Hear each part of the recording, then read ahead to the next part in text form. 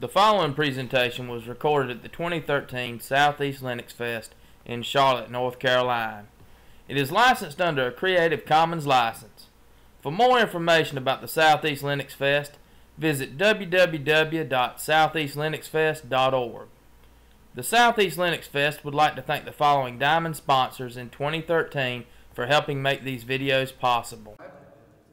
Okay, I just got the signal. We're good to go.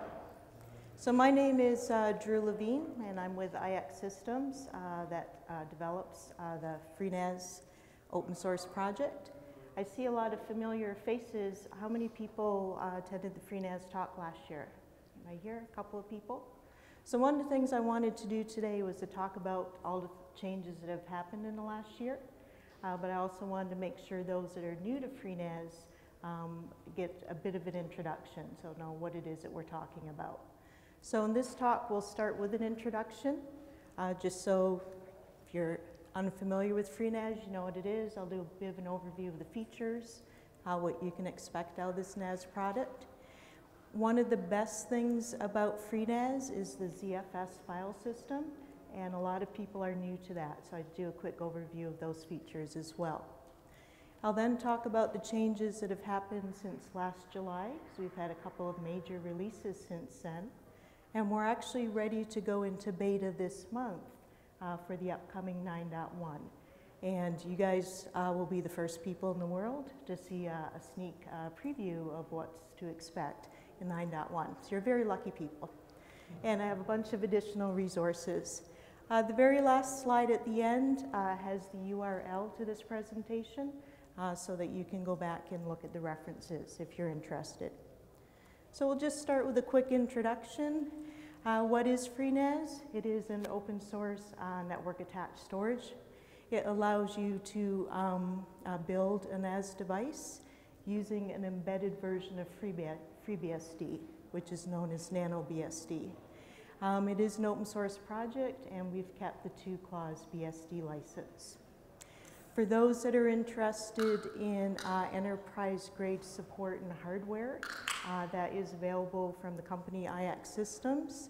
And the supported product is the same as FreeNAS, but we call it TrueNAS. And it's actually been developed for the hardware uh, that you would purchase. So that is an option that's available. Whole bunch of features come with FreeNAS. Um, FreeNAS was originally developed about 10 years ago, and it was uh, an open source project that grew over time.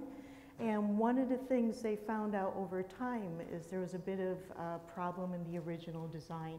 So it was basically a full operating system with a whole kitchen sink approach to it. When the lead developer retired from the project, he was no longer able to maintain it it was decided, well, that's a pretty good time to go back to the drawing board and let's design this. Uh, let's do it as specifically a NAS device, but let's give the ability uh, for um, admins to add on the software that they need. Because admins sometimes want to do some really funky stuff with their NAS other than just storage. So the new design um, uh, originally focused on what we called the core NAS, and these are the features I'm talking about now. And then I'll do a bit of an overview of the modular plug-in architecture that allows you to install your own software. So if we look at what's built into the NAS itself, um, it supports two file systems. So UFS, uh, good old Unix file system that's been around forever, as well as ZFS. We recommend ZFS, and if you're unfamiliar with ZFS, the more you learn about it, the more you learn that it's really well designed for storage and for data reliability. If you already have an existing UFS or ZFS uh, RAID volume, you can import that in so you don't have to back up and, and create new file system. You can also grab data from existing UFS, DOS, NTFS, and ext23 file systems. Once you've set up your storage areas, you have great flexibility in how you uh, provide access to that storage. So we support uh, the AppleTalk protocol, NFS, and SMB. You can also have your clients going through FTP or secure FTP, SSH, or you can create uh, iSCSI uh, targets. If you already have an existing Active Directory or Open LDAP network, you can import in all of your users and permissions. You can um, set up a schedule to automate uh, secure replication using rsync and SSH. And one of the things you can do with ZFS is you can create snapshots, which literally are the file system at that point in time. And later on, you could go back to that point in time if you need to restore what a file looked like. Those are called snapshots, and you can automate how often those occur, and then you could replicate them if you wish to another system. ZFS also provides something called scrubs, where it will go in and check all the checksums on your disk blocks. And if it finds any corrupt checksums, it will attempt to fix the data. So that's something that should be uh, scheduled. And we have an automated scheduler. Uh, we have a couple of uh, front ends in the GUI to make some system administration tasks easier. So rather than remembering where to put your asterisk in a cron job, you can just pick stuff out in the GUI when you'd like your scripts to run. Uh, if you're familiar with FreeBSD, you know that you can uh, interact with the running kernel using sysctls. We have a front-end GUI for that. And if you want to load extra drivers or anything else at uh, kernel load time, we have a front-end to loader.conf. We also have all kinds of nice reporting graphs.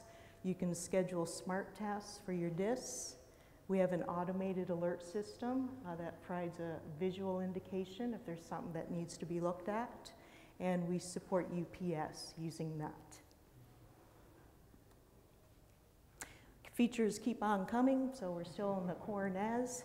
Uh, we do support link aggregation, um, failover support, and also VLAN support.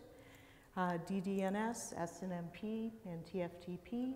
So if you're storing, say, your Cisco images, you can um, create data sets that your Mac clients can do their backups using Time Machine. And we also support Windows shadow copies. Um, so if you're doing ZFS snapshots, your uh, Windows users in Explorer can right-click a file and view that file's previous versions and restore a previous version.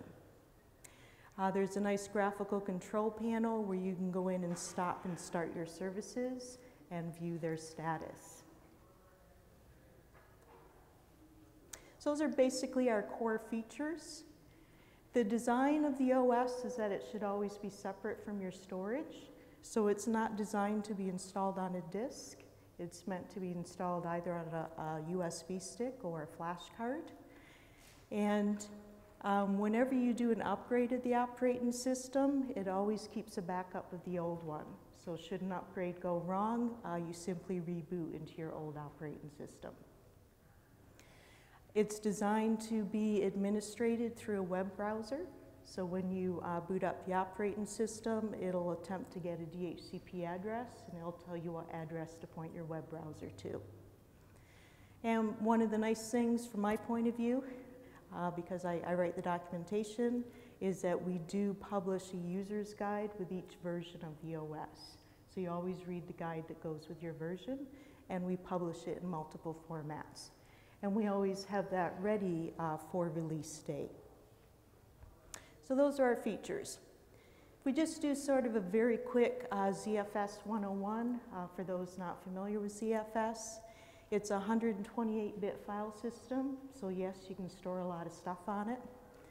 It was designed um, to be self-healing. So whenever it writes data, it uses checksums and it records that data. So it's there to provide data integrity. And when you do your scrubs, it will let you know if it had to fix any blocks. And that is usually a very early indication that you may have a disk that needs some attention. Snapshots are point in time and they're very lightweight. So the first time you take a snapshot of a file system, it's actually zero bytes in size. It's just basically a pointer uh, in the ZFS logic. And snapshots only grow in size um, as the data changes. One of the nice things about ZFS is it's a copy on write file system, which means when you change a file, it doesn't write to the original disk block. It actually writes elsewhere. And that's one of the reasons why it can go back in time to look at a previous version of a file. So your scrubs verify your integrity. A lot of people are excited about deduplication, and for some workloads that's appropriate. If you have a lot of duplicate data, so for example, you're, you're storing um, uh, virtual images, virtual machines, it will go in and remove the duplicate data. So you can actually save a lot of space. And one of the other things that takes a while to wrap your head around when it comes to ZFS, so normally when you format a file system, you have to think ahead of time what's going to be the size of my USR and var and ETC, how you set it up and it sort of locks in those sizes at file creation time. With ZFS, you instead uh, feed uh, what's known as a pool, the disks that you want to use as storage. And then as you want to uh, basically partition your storage, you create things known as data sets. They're sort of like a file system and they're sort of like a directory. So you can create as many as you want and they have access to the full storage pool but you can do cool things like set quotas on a per data set basis. So going to have each user can have their own data set with a different size quota. You can create uh, data sets that will have compression on and store data on that data set that would benefit from compression. So you can do cool things like that. The other thing that ZFS does is it uh, uses its own software RAID. And the RAID was designed to overcome some of the limitations of hardware RAID. And when you're looking at uh, ZFS RAID, it's called a RAID Z. And the number after the RAID Z tells you how many disks you can lose without losing your data. So in a RAID Z1, you can lose one disk. RAID Z2, you can lose two disks. One of the things you want to look into, especially if uh, redundancy is a really big deal for the data that you're saving, and if you have a lot of disks, is you want to decide which RAID Z is your best uh, bet for both capacity and the ability to lose disks. Because uh, we all know that sometimes when one disk goes, other disks go. So you do want to be able to plan for that ahead of time. And one of the things that happens, so if a disk goes in a RAID Z, uh, the system still perks along. Uh, it'll let you know it's in a degraded state. And how you fix that is something called resilvering once you replace the disk. That's not when you want more disks to die because it can actually stress the system. So you want to think ahead of time uh, how, which RAID Z is best for your needs. Okay, so that's a bit of our introduction. If we take a look just basically what's happening with releases, so 8.0 was the redesign. It came out in May of 2011 and its focus was let's just do the core and then once that settles down we'll start working on the modularity so that people can add more stuff 820 july of last year is when you were able to start adding your own software and we called that the plugins architecture 830 was very anticipated because we were waiting for zfs version 28 uh, which adds some more features. That was last October. We introduced full disk encryption uh, in March of this year, and we're getting ready to enter the beta phase uh, for the 9 series. So we're going to call the first one 9.10. So if we just do a quick overview of each of those. Uh, so the plugins architecture came out last July in 820. So that allows you to install software above the core NAS features. And it's based on the FreeBSD jail concept and PCBSD PBIs. So FreeBSD jails provide you a very lightweight way uh, to basically have a FreeBSD operating system installed. Uh, it's very lightweight. So because it's basically a FreeBSD operating system, you can go in and install just like you would on any FreeBSD. So you can do packages and ports, uh, but the cool thing is you can also use PBIs. so PBIs were invented uh, by Kris of the PCBSD project, and they provide a graphical way to install FreeBSD software, so you're not at the command line. What we did is we extended that API to allow the configuration file for that software to show up in the FreeNAS GUI. Because typically you're installing some sort of service and you want a nice way to go in and rather than looking in etc, where's its config file and how do I configure this, just do checkboxes and path names in a GUI. So it's sort of a slick way of doing it. That architecture is uh, changing slightly in 910, so I left the URL to my slides that describes the 820 plugins architecture in more detail. 830 gave us ZFS version 28, so this is when people got deduplication. Up to that point, uh, there was only RAID Z1 and Z2, so this added level 3. There were some improvements to snapshots and the ability um, to uh, replace a log device. So in previous versions of ZFS, if your ZFS intent log was on a dedicated device and that device died and wasn't mirrored, you lost your pool, which can be a really big deal. uh, with version 28, it's fine. You'll lose your last eight seconds worth of writes, but you don't lose your pool. So if you're using an older version of ZFS, there's a reason right there uh, to upgrade to 28. The other thing we got in that version is something called Auto Expand. And this allows, it's sort of the poor man's version of how do I increase my capacity. So typically the best way to increase drive capacity is to just stripe uh, another amount of disks uh, that's already running. Sometimes you don't have room to do that. So with auto expand, you can slowly and painfully, one by one, take out a disk, replace it with a larger one, let it resilver, go in and take out the second disk, and do that until your entire pool uh, has been um, increased. But auto expand lets you do that. It'll actually see the new disk space. 831 was the encryption. And one of the sad things that happened when uh, Sun was bought out by Oracle, ZFS had encryption in it, but it hadn't been open sourced yet, which means Oracle has ZFS encryption and nobody else gets to play with that, they want to pay a lot of money. So we do not have ZFS version 30 encryption. It's not built into ZFS. Instead, we use FreeBSD GELI encryption, which works at the disk block level. So it's either on your disk or it's not on your disk. So it's not something you're doing on a, a per pool or per file system basis. But it is good for um, certain purposes. So for example, if you're in an environment uh, that stores sensitive data, um, this type of encryption, if somebody steals a disk or if somebody RMAs it and throws it out in the dumpster and someone finds it, they're not going to have access to the data on the disk.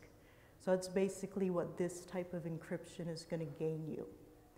Um, this will stay the same in 910, um, but that presentation, um, the presentation basically talked about the encryption system if you want more information. So let's move on to what's coming in 9.1.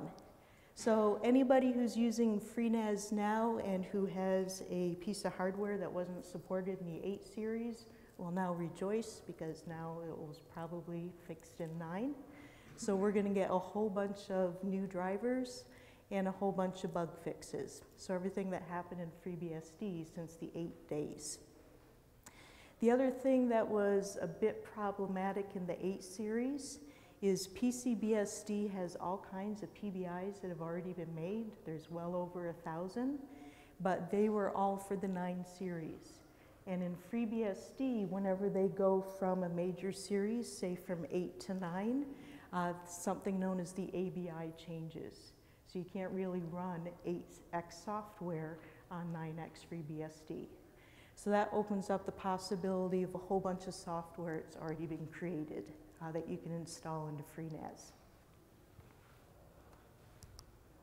The volume manager. So the volume manager was created in eight and we had a year and a half worth of user feedback of all the stuff that people hated in the existing volume manager.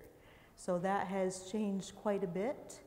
Uh, some of it was just the terminology because ZFS uses different terminology than UFS does, and it was hard. Am I making a volume or a ZVol or is this a, U, a pool? What am I making here? So one of the ways we address that is we now have two volume managers, uh, one for UFS and one for ZFS. The other thing that was problematic in the old one is it wasn't very intuitive if I want to extend my pool by adding more disks, or if I want to add a log device, or I want to add another L2 ARC. How you did that in the manager was not intuitive. And we would have all kinds of people panicking because a button says you're going to destroy your data if you do this, if you're extending, and it's like, it was very painful. So we've tried to make it so it's as intuitive as possible. The other thing that you couldn't really do in the old volume manager is figure out, well, how much capacity am I going to get? If I throw in six 40 gig drives in a RAID Z2, what's that going to give me? The new volume manager will actually tell you. And you can go in and look at the various RAID levels and see which one is appropriate. And we do have a lot of um, people who use uh, very large FreeNAS systems that are dealing with a lot of disks. And it was painful adding more than three or four disks into a pool. So we've tried to fix all of this. And I'll show you a couple of screenshots. I don't know how well they're going to show on this, but we'll see what we can see. Yeah, maybe. Was, with lights off, would that make a difference, or is that going to ruin the camera? Okay, so you guys can look at the slides uh, when you when you um, get home. So one of the things we did, so we when you, this is a ZFS, um, so we have a USS, UFS volume manager and a ZFS. If you're creating a new volume, you give it a name. If you're extending a volume, you just say that you, are extending an existing volume and specify the name. When you're creating a volume, you can uh, choose to use encryption and you can um, initialize the disk blocks before doing so. One of the things uh, we've done here, so here I just um, got a screenshot from VirtualBox.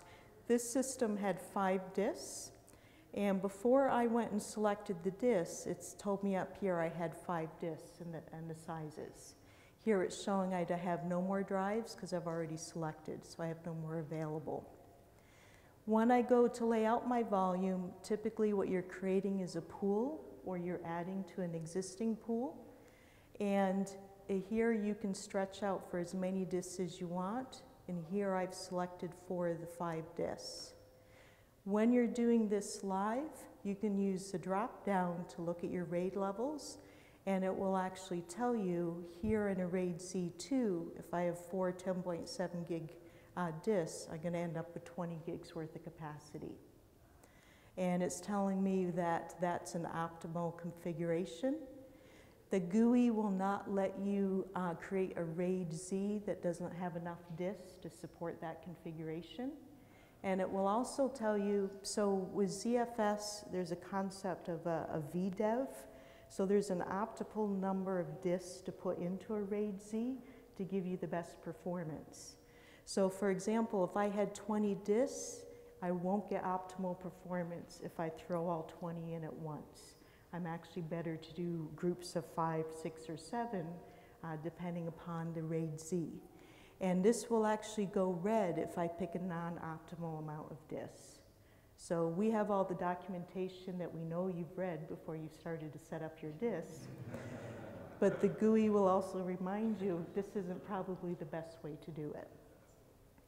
This one here, it's a bit hard to see, but in the drop down, I've chosen to create a ZIL or a log device.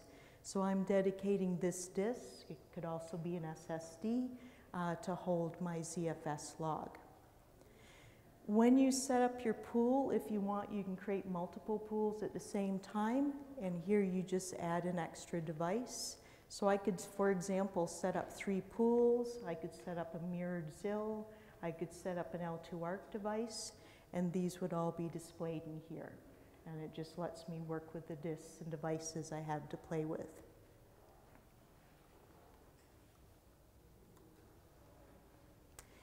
Uh, this screen here assumes that I've already made a volume. So I have a volume, what did I call it here? Volume one. And once you have a volume, you can start creating data sets. Or if you are uh, planning on using iSCSI, you can create device extents using a ZVol. Uh, basically, it's just going to be, to the client, it's going to look like a disk that they can format and do what they want with. When you're creating a data set, uh, you give it a name. You can set compression on it if you want. Uh, you can decide uh, whether the A time is recorded or not. You can also do thin and thick provisioning, and those in ZFS terms are called quota and reserved space. You can set up deduplication, and for some workloads, um, being able to specify the work, uh, the record size is a nice thing to do, and we have some documentation on that. So those have been added. Those, a lot of those features weren't there before. And the last thing we did here is an example of creating a ZVol. So I'm getting ready to do iSCSI. Uh, so you set the size of your ZVol, you can set compression, you can do uh, thick provisioning with a sparse volume, and you can also set a block size.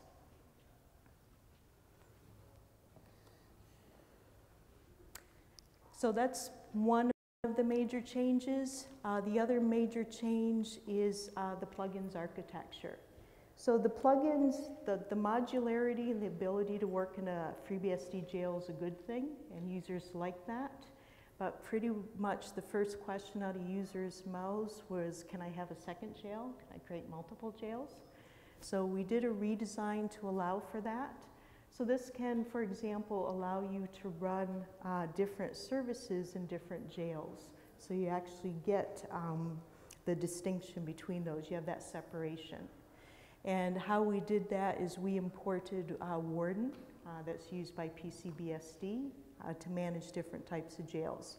So you can actually fire up as many jails uh, that you want.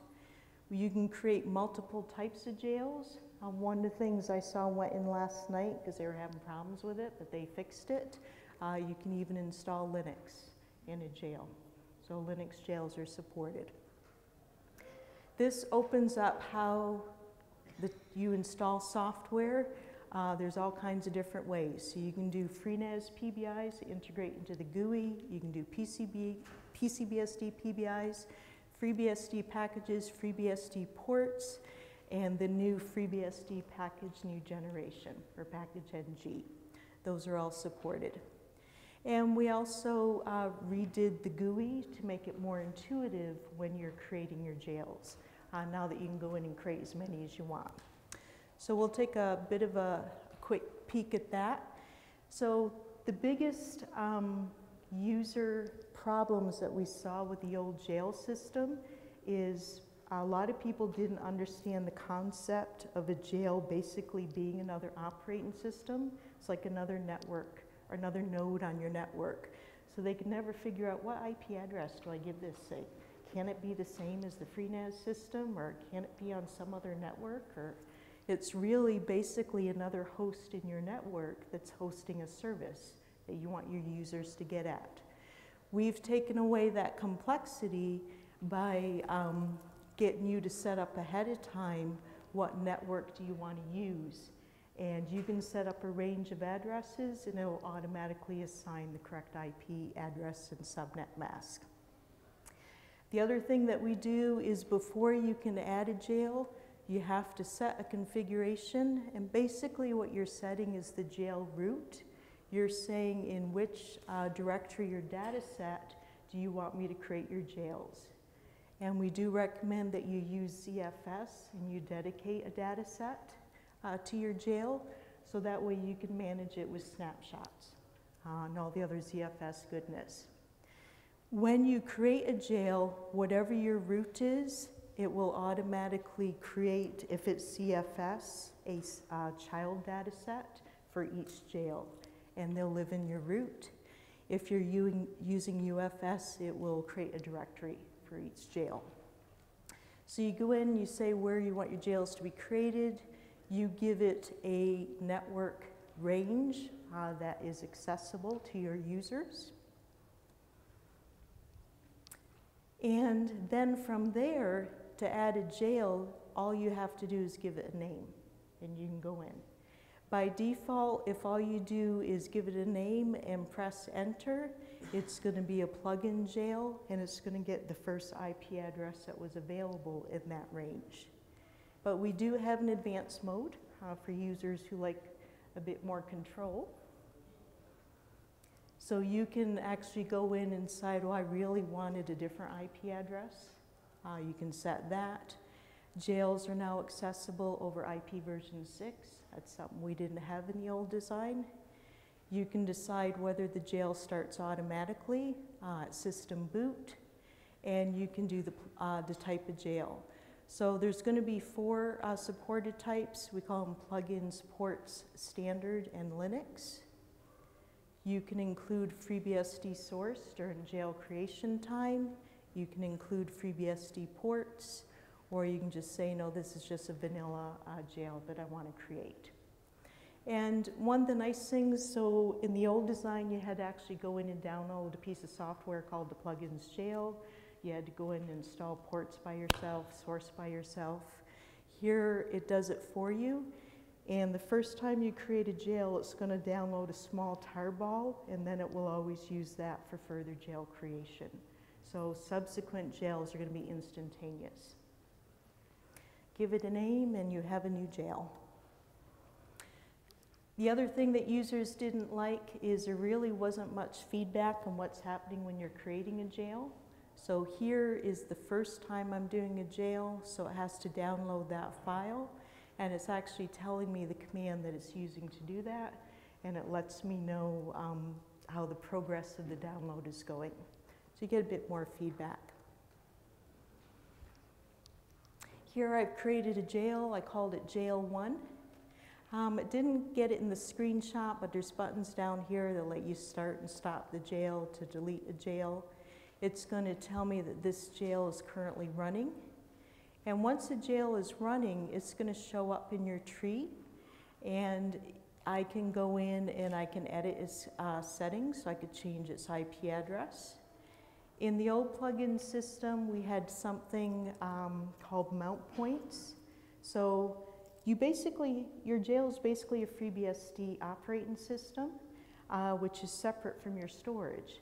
But with the mount point, you could go in and say, I want you to have access to this part of my storage. So if you're doing something like transmission, where you need to store stuff, it'll actually store on your NAS device. We now call those add storage, try to be a bit more intuitive, and you could also make directories within that storage, and it would go directly to your NAS system. Um, the, if you're using the plugins jail, uh, you have a button called install plugin, and basically once it's installed, it'll add it to the GUI. We don't have any plugins built yet, so I couldn't show you that screenshot, um, but those should be coming in the next week or so. Then we have a, a bunch of little changes. Um, so shell we've had since last July for those that like to work in the command line. A couple of problems with that is you could copy but you couldn't paste, which was rather inconvenient. So we now have paste. Um, and you also couldn't resize the shell. So sometimes things would get truncated and it was real, it was real irritating. Uh, now you can go in and set the size of the window. Um, the other thing that could be irritating is if you're using the graphical admin, uh, interface and you have a flashing red alert and it's something that you know about, it was always flashing until you fixed it. Now there's a nice little checkbox next to it it's like, I know that, uncheck it and just won't flash at you anymore. So it expects you know what you're doing. We now have an option where you can go in and set when scripts um, are run. So you can have scripts run during system initialization or during shutdown. There's a nice GUI for that. Uh, we now have support for NIS or Yellow Pages. You can configure that through the GUI. And is that for authentication of like admins or authentication for like um, network shares? Right now, it's just users and permissions. We're hoping in 911 to add other NIS attributes. Mean, and then is LDAP also supported? Oh, yes, L- LDAP's been supported, yeah. Um, with replication, it always happened as root. Now you can go in and configure what user gets used. Uh, you can set your logging level and facility for SFTP. Um, you can now override the default NFS bind ports, uh, specify which ones you want to use. And a really handy tool uh, is zilstat. And you run this tool, and it will actually give you a good idea whether your system would perform better with a dedicated log. So, whether it's worth your while adding a ZIL device. Because for some workloads, the ZIL doesn't help you at all, put it on another system. So, we have a whole bunch of resources. We have our website, forums, bug tracker, user's guide. We're on IRC on Freenode. Want a picture of that?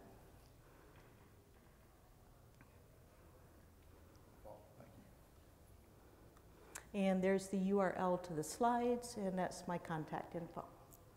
Uh, any questions? Yes.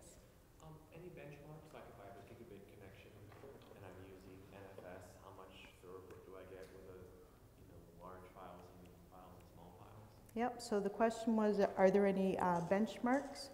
We do have some command line tools, and we have a, a chapter in our documentation which needs more love from an end user point of view. Uh, but some of the, there are tools called uh, ArcStat Summary. We have that. Um, and we have, oh, what's the other one? So typically DD is not the best way to do it. I think it's XDD. And we have IOStat. So we do have a bunch of command line utilities. Um, for people publishing their benchmark results, we do have a performance section in the forums where people are starting to do that. And there's a couple of users that are really good at that, and they um, talk about things like if I'm reading uh, my ARC summary stats, what is it that I'm looking for? And how am I going to tell if um, adding another ARC device changed anything? So, so we're starting to get some information like that. Yep. So the question is, what's the upgrade process? We support uh, two different types of upgrades. Um, so you can upgrade right from the GUI. Um, as in any upgrade, we always recommend that you have a backup, uh, though it's very rare that an upgrade is, is going to affect your system. Um, so we do have uh, files that you download, they're upgrade. You just run it in the GUI, you point to that file, it reboots your system, and in theory, you come back and everything's happy. The other thing, which I usually tell people, the only thing you care about is the data on your disk, and you care about the configuration that you made, unless you're getting paid by the hour and you really like to redo your configs. So the only thing as far as um, having your settings saved is you always make sure that you have a recent copy of your configuration and you just go in the GUI and you press the button and it saves it to your workstation. So even if things went terribly wrong and your flash drive or your, your CF card died and the OS went kaput, all you have to do is uh, burn the image uh, onto that onto another device, import your disk and import your config, and you're back to where you were. So it's one of the reasons why we made sure there was a separation uh, between storage and your um, operating system. So the worst that could happen is an upgrade didn't work, and then you could always boot into the previous one. And if for some reason you couldn't do that, you would just uh, install a new operating system. Yep. What's the size of a, just a base OS? The OS itself? Just, just setting up a base nine-one, um, without a lot of jails or anything? For, for the hardware or for the OS? Uh, for, for the OS, I mean, how much of a stick am I gonna, should I have? Yeah. Just a small two gig stick or? Yeah, so right now, so the, the image itself is only about 800 megs, so uncompressed. We, um, right now in the 8 series, say use a 2 gig stick because it's going to divide it in two, one for your previous OS and one for your new one with a little bit of room. We've added uh, some stuff in 9, which is going to bring us up to a 4 gig stick. And what we found, especially with the 2 gig sticks, is a lot of the cheaper USB drives don't give you 2 gig capacity, and you really needed a 4 gig stick anyways. But it's really hard trying to find a, a stick, even trying to buy one these days that small, yeah. I think we have room for one more question. Yep. Supported hardware, do you have the supported hardware list? Yep. So we do have a uh, section in our documentation called hardware, uh, where we basically give recommendations depending upon your needs. And what the supported hardware will always be what's on the FreeBSD hardware compatibility list. Yeah, so if you're looking for a specific driver, that's where you'd go to look. Okay, thank you.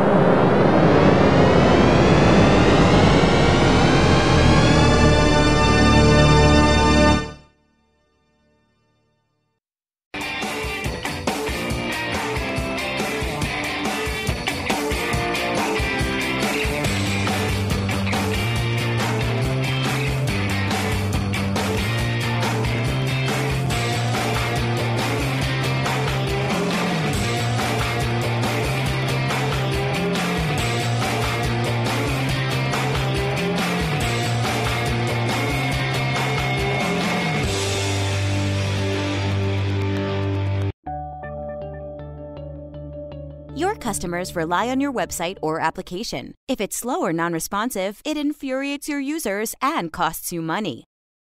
Keeping your business critical systems humming along requires insight into what they're doing. Your system metrics tell stories, stories that can reveal performance bottlenecks, resource limitations, and other problems. But how do you keep an eye on all of your system's performance metrics in real time and record this data for later analysis? Enter Longview, the new way to see what's really going on under the hood. The Longview dashboard lets you visualize the status of all your systems, providing you with a bird's eye view of your entire fleet. You can sort by CPU, memory, swap, processes load, and network usage. Click a specific system to access its individual dashboard, then click and drag to zoom in on choke points and get more detail.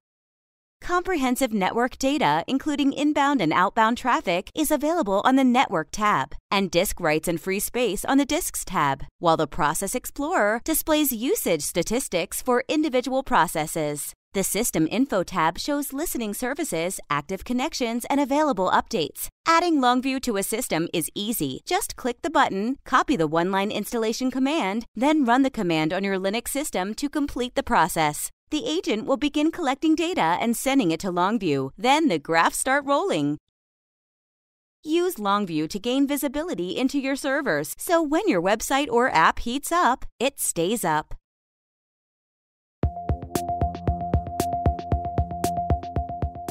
When we created Asterisk over a decade ago, we could not have imagined that Asterisk would not only become the most widely adopted open source communication software on the planet, but that it would impact the entire industry in the way that it has. Today, Asterisk has found its way into more than 170 countries and virtually every Fortune 1000 company. The success of Asterisk has enabled a transition of power from the hands of the traditional proprietary phone vendors into the hands of the users and administrators of phone systems. Using this power, our customers have created all sorts of business-changing applications, from small office phone systems to mission-critical call centers to international carrier networks. In fact, there's even an entire country whose communications infrastructure runs on Asterisk. Digium has always been about creating technology that expands communications capabilities in ways we could never have imagined. And that's part of what's game changing about Digium. Today, we're doing it again, this time by introducing a new family of HDIP phones that extends control of the user all the way to the desktop. The launch of these new products represents the next phase in Digium's history of innovation. These are the first and only IP phones designed to fully leverage the power of Asterisk. When we first discussed our expectations for building a family of phones for use with Asterisk, our requirements were pretty simple. We asked the team to build the phones such that they were easy to install, integrate, provision, and use. I think you'll soon agree our engineers have delivered on that goal. User feedback is validating that when it comes to operation with Asterisk-based systems, including our own SwitchVox-based product, these are the easiest to use, best integrated, most interoperable products on the market today. The Digium family of phones will initially include three IP desk phones, uniquely designed to complement any Asterisk or SwitchVox-based solution. These phones are different for a number of reasons. First, they're exclusively designed for use with Asterisk. Secondly, we've made it really easy to auto-discover and provision the phones. Next, we've made it easy for the phones to access information inside of Asterisk, allowing tight coupling between an application and the phone. Additionally, we've created an applications engine that allows users and developers to create and run their own apps on the phone. And finally, we've done all of this at a very compelling price point. At Digium, we're always thinking of ways to give our customers the best value in business phone systems and also give them the power to create their own solutions for any communications challenge. We'll continue to push the boundaries, not only to make Asterisk cooler, faster, and more technologically feature-rich, but to make Asterisk and VoIP communications even easier. And together, we'll change the way the world communicates. Again.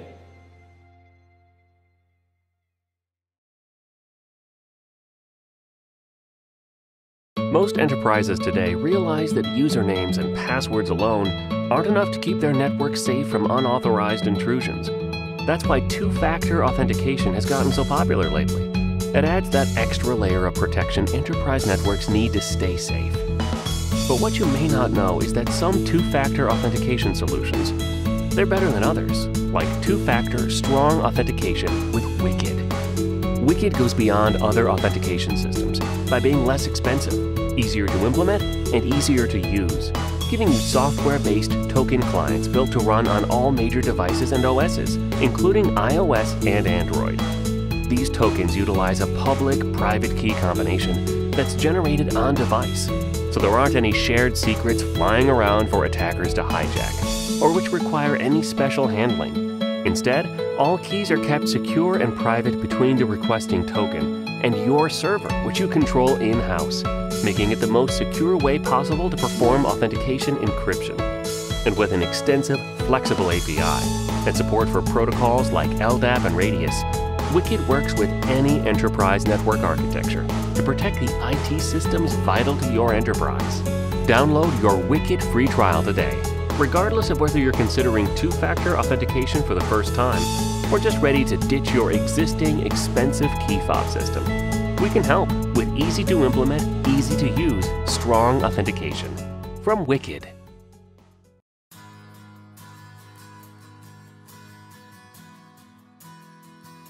Cloud stacks are everywhere. This is the way to, to better utilize uh, all your resources and it makes managing all your resources pretty easy. All of the innovation is happening in open source. The, the collaborative nature and of the uh, you know of the community and, and the speed at which these uh, these you know these these deficiencies these bugs are getting discovered and then fixed is a, a thing that really shows the power of the you know of the open source community. It is global and it's definitely because of the users.